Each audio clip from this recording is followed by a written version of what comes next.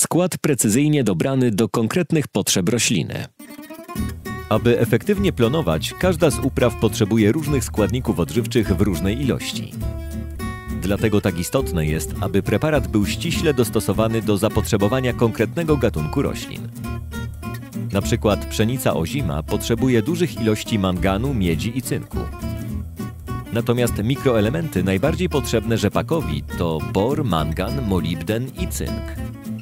Skład Multiple jest ściśle przystosowany do zapotrzebowania pszenicy ozimej na składniki odżywcze.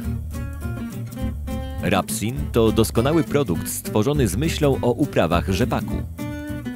Tylko preparaty FMC już przy jednym zabiegu dostarczą roślinom uprawnym większość kluczowych mikroelementów.